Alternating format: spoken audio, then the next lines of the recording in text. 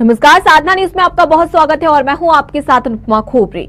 और बुलेटिन की शुरुआत करते हैं धमदा की बड़ी खबर के साथ, जहाँ मिर्जापुर में बच्चों ने स्कूलों में ताला लगाया। आपको बता दें कि प्रधान पाठक के रूखे रवैये और मारपीट की वजह से आरोप भी लगाया गया है। साथ ही गुणवत्ताहीन मध्यान्ह भोजन देने का आरोप लगाया गया।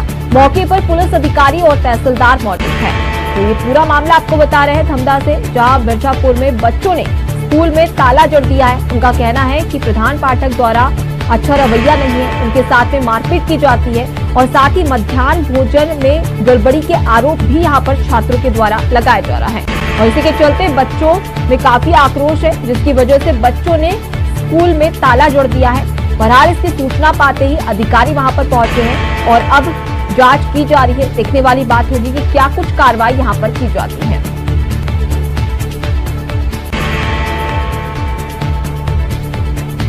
धमदा से आपको एक पूरा मामला बता रहे हैं, जहाँ पर बजापुर में बच्चों ने स्कूल में ताला जड़ दिया है। बच्चों का आरोप है कि जो प्रधान पाठक है, उनका रवैया ठीक नहीं है, वो मारपीट करते हैं और साथ ही मध्यान्ह भोजन में गड़बड़ी का भी आरोप लगाया है। उनका कहना है कि मध्यान्ह भोजन गुणवत्ताहीन तरीके से भोजन दिया जाता है, जो कि बिल्कुल भी पौष्टिक नहीं रहता है। और इसी के चलते उन्होंने ताला जड़ दिया है। अब ऐसे में सूचना मिलते ही अधिकारी वहाँ पर पहुँचे हैं और अब जाँच की जा रही है और अधिकारी और तहसीलदार की जाँच के बाद ही देखने वाली बात होगी कि क्या एक्शन लिया जाता है।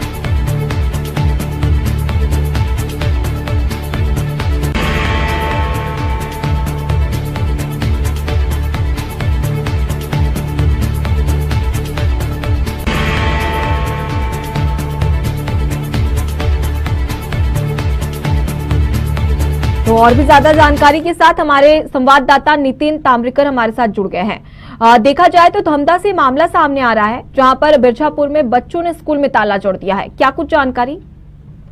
जी आपको बताना चाहूँगा कि धमधा ब्लॉक का एक बहुचर्चित गाँव है बिरझापुर वहाँ आज बच्चे अचानक उग्र हो गए। करीब उनको सात आठ दिन से बड़ा परेशान किया जा रहा था। स्कूल के सफ़ाई, वहाँ निजी तौर पे सब्ज़ी बोना सब्ज़ी की कटाई छटाई पेड़ों की कटाई छटाई या फिर पानी भरना अन्य कार्य लगातार उनके द्वारा करवाए जा रहे थे प्रधान पाठक के द्वारा। उन्हीं के चलते आज बच्चों में आक्रोश आ गया और बच्चे सरपंच से शिकायत किए तो पूरा ग्रामीण जन जो है आक्रोश में आ गया। और ये धरना प्रदर्शन की स्थिति बन गई। जी।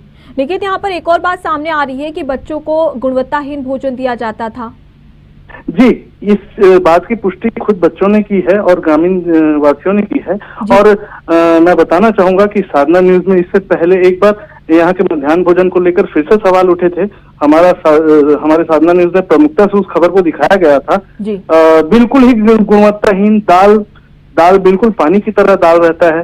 सब्ज़ी में कोई स्वाद नहीं रहता मसाले की कोई उसमें ज़्यादा यूज़ नहीं होते।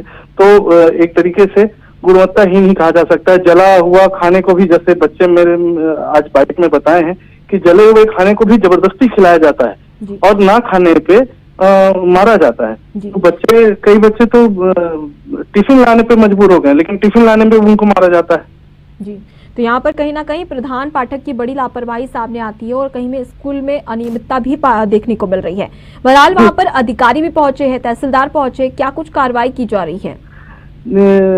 जहाँ तक के हो ब्लॉक शिक्षा अधिकारी के का कहना है कि निलंबन की प्रक्रिया उनके लेटर में उच्च अधिकारी को लिखता हूँ और सरपंच ने तत्काल वहाँ पे एफआईआर की मांग की है लिखित सूचना दी है।